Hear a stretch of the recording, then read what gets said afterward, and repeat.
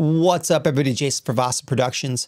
And in this video, I wanna show you how to take social media icons and animate them in DaVinci Resolve Fusion.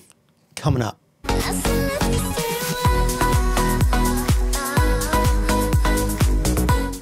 All we need to do to work on this is turn this into a Fusion clip or lay a Fusion composition over. So I could either select a Fusion composition and lay it over the top, and then click the Fusion tab and go in and add a background and start working. Or I can delete that Fusion comp and right click on this clip and left click on new Fusion clip. And then when I click on the uh, Fusion tab, I can see the video right there. So media out right here, we've got the media in, which is actually our video clip right here. Come up to fit and left click on 50%. Now what I wanna do is just come down here and start working on making this animation. Take a background node, drag that in, take its output and drag that into the output of the video clip right there, which is media one. Take this background now, we need to manipulate this a little bit and come up here to alpha and come down to zero.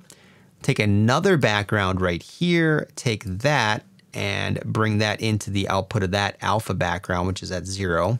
We've got a merge there and a new background. Now with this background, what we're gonna do is select another rectangle mask right there. Take it though and bring it in a little bit. Round off the corner radius just like this. And then we're gonna left click and drag over these two nodes, hit Command C or Control C on Windows, and Command V to paste. Take the background of this new one and bring it into this background until it turns green and we've got a merge right here, and we'll have a new rectangle and a new shape right here. So what we wanna do with this rectangle is bring its edges in by dragging like this and dragging like this. Then we're gonna go back to our original rectangle right here and select its background and just change that background color over to white. And voila, we've got a really simple, easy border that we just created with two different shapes right there, okay? And if I wanna make that just a little bit, let's say the other rectangle just a little bit taller, I can do that to make the border width a little less, you know, apparent like that, and just nice and easy. So we've got that outline that we want. Now what we need to do is bring in some social media icon logos. So up to media pool here, under graphics, I've got my folders organized. I've got an Instagram logo right here. Just left click and drag the Instagram logo into the composition, take its output and drag it into the merge twos output. That creates a merge right there. Now to create some space here, things are getting a little clogged up at the top. Take these three nodes, highlight them and just drag them down. And then take these two new nodes and drag them down just a little bit. This is the Instagram logo right here. Right click on it, hit rename, type in Instagram logo, okay? And then these backgrounds, let's name these backgrounds too. So we've got the first background right here, which is the black one. We're just gonna rename that one black. And then this one is gonna be the white outline. Right click on that one, white outline and then we know what everything is. To move the Instagram logo around, what we need to do is come over here and just select a transform by left clicking on that quick. That gives me the ability to move this Instagram logo around the screen just like this. I'm gonna take it and resize it and make it a lot smaller. And I'm bring it down here a little bit more. And again, bring that size down just a little bit more, make it nice and easy like this. Now to move this rectangle with the outline around together, we need to use a transform between those two sets of nodes. So left click and drag over these five nodes and bring them to the right just a little bit. Take a transform here, left click that, drag it over this line until it turns blue-green, and then that gives you the ability to move this entire chunk here around just like this. And I think you can kind of see where we're going with this. I'm gonna now take the color, the black background that we've got labeled right here, and just left click on it. And we'll come up to the eyedropper tool and left click this, left click and hold it down and drag it over the Instagram logo and look what happens, right? We get the ability to select any of the colors of the Instagram logo we want. For, you know, the female here, we're probably just gonna use a pink. I like that color a little bit. It matches really well. So just let go. And we've got that nice pink right there, right? Really simple, really, really easy. The next thing that we need to do is work on animation and also work on masking out this right here. So it's gonna be really simple to mask this out for us. All I have to do is come over here to the rectangle mask, left click on that, bring that to this side of the merge, take its output, drag it into the alpha of the merge, the blue part right there. And we can see our rectangle's gone. Just take it and bring it down over here. And now we can see that rectangle again, right? Drag its top down a little bit. Drag the edges in a little bit.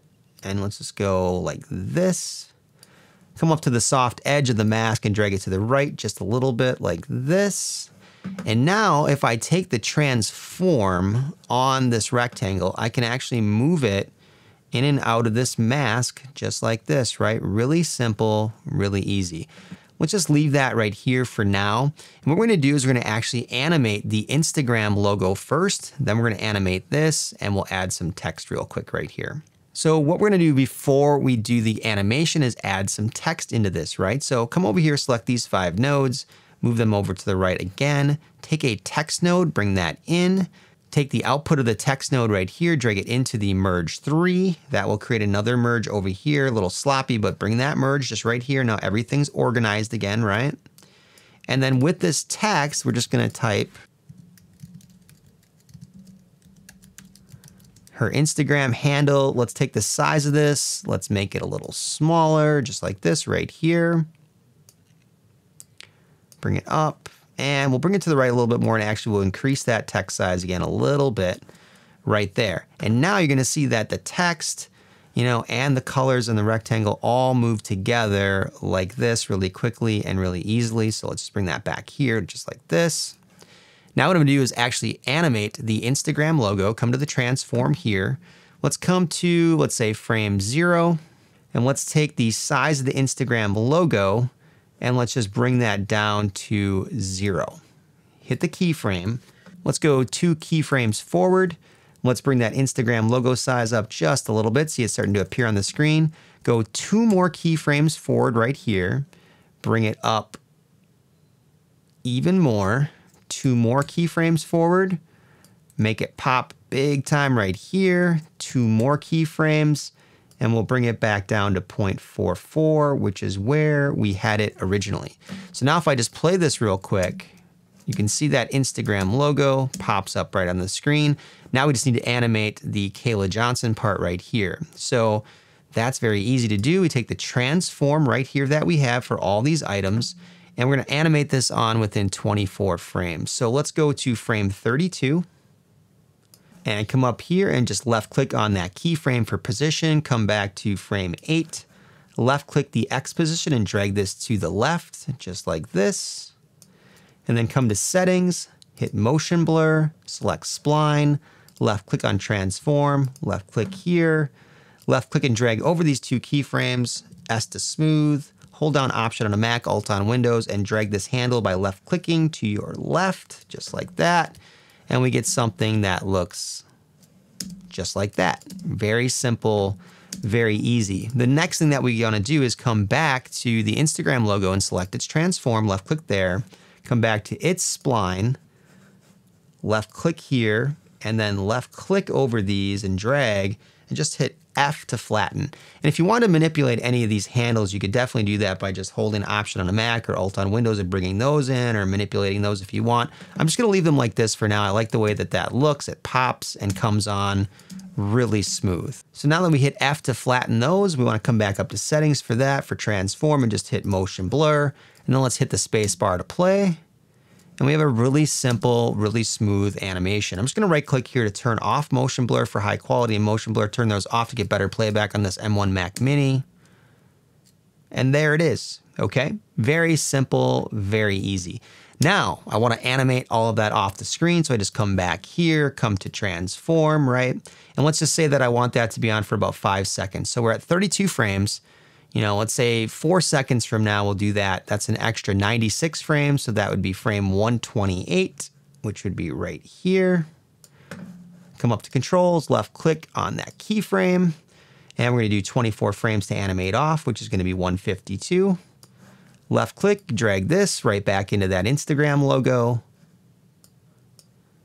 And come up to spline, left click on that, left click here S to smooth, hit the magnifying glass, drag that over the two keyframes to see it easier.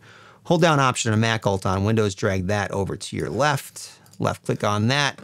come back to the transform for the Instagram logo, and we're going to animate that off, right? So we've got the Instagram logo, come up to controls, left click on the size keyframe right here, go two keyframes forward, bring the size up, two more forward, bring it down, two more forward, and bring it all the way down off the screen, come up to spline, and then you've got those keyframes there. Just hit F to smooth, just like that, and then come back to the beginning and let's hit spacebar to play.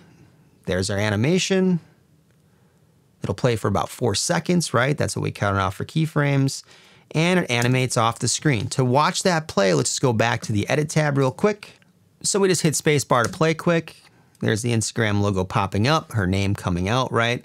We have that staying on for about four seconds and then animating off the screen really quickly and really easily. So there you have it, a very simple way, right, to create a social media icon animation inside DaVinci Resolve Fusion. You can use that on your YouTube channels, use it on your socials, or use it for the purposes of creating content for businesses. All right, so that wraps it up for how to take your social media icons and animate them in interesting ways inside DaVinci Resolve Fusion.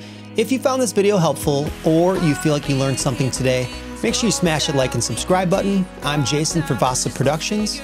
We'll see you next time.